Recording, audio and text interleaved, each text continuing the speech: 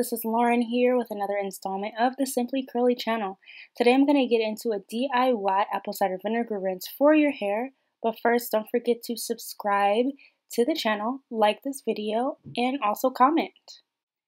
Now let's get into the benefits of ACV rinses. Um, the benefits of ACV, basically it balances your hair and scalp pH levels by lowering the pH of your scalp and ACV flattens and closes your hair cuticles, which makes your hair smoother and eliminates frizziness and all of that fun stuff. So that is what I'm trying to achieve today. I do this rinse about once a month. I don't really need to do it multiple times within a month, but let's get started. I first start by getting my apple cider vinegar with mother in it. I prefer the Bragg's brand, but this is what I had. Next, you want to get some water. So I grabbed a water bottle um, and I'm going to use my water bottle to pour this in my hair. And so now I'm going to pour a little bit of the water out of the water bottle to make space for the apple cider vinegar to mix in there. So now I'm pouring a little bit out and then I'm going to be pouring the apple cider vinegar into the bottle. And you want to make sure you are shaking up the apple cider vinegar because that mother is at the bottom and that's where all the nutrients and everything is in the apple cider vinegar. So you do want to shake it up. So what you are pouring into the bottle is actually the best portion of the apple cider vinegar.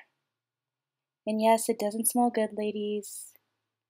So don't put it too close to your nose like I did. And then you just close up and shake it up. Shake it, shake it, shake it. Once you're done shaking, you're ready to apply. So I get a towel. This is a microfiber towel um, that I'm going to put around my shoulders because it will get messy.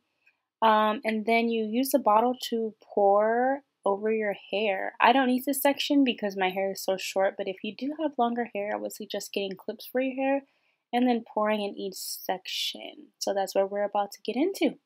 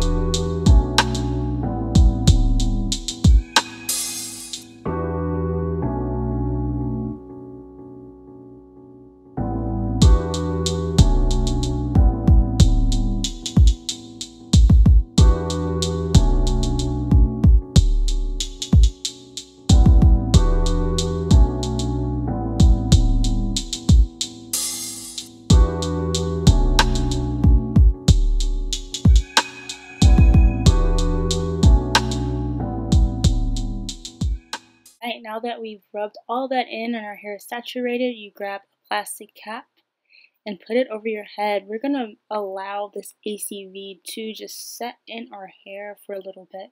We're not just going to put it in and rinse it right out. We're going to let it settle and do its magic. So we put that cap on. I just get the super cheap ones from Sally's. They come with a whole bunch in one pack. And once you get all your hair in there, you just let it sit for 10 minutes. 10 minutes. I'll be back. So it has been 10 minutes. I am back now. I am taking y'all in my shower and showing you guys the rinse out. It's easiest like this. So I'm basically taking everything off in the shower, um, rinsing this out. Um, and just so you guys know, I am only doing a co-wash today. I am not doing a shampoo and then conditioner. Um, to be honest, I thought I grabbed shampoo. And I ended up grabbing my tea tree um, oil conditioner. So I was like, oh, well, might as well just do a co-wash. I haven't done that in a while. Um, I didn't have crazy product buildup, so I didn't feel too crazy about just doing a co-wash. If you guys want to know more about co-washing, please let me know. But enjoy the rest of this rinse out.